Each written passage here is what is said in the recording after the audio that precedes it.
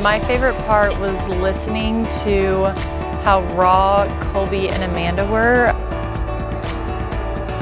I just love the emphasis on the vows and just the importance of the commitment that you're actually about to make. But there was a wide range um, of everything from finances to like sex, you know, and uh, it's really important because, you know, we may be doing really well in one area, but then we're not doing super well in a different area.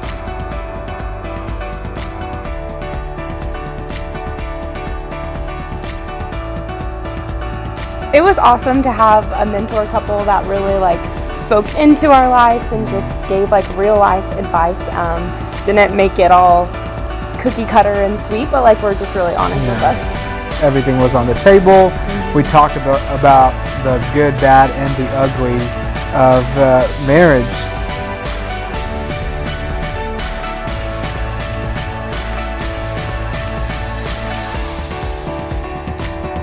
You 100% need to do it. Do it! yeah, it's fun. Seriously, we won't regret it.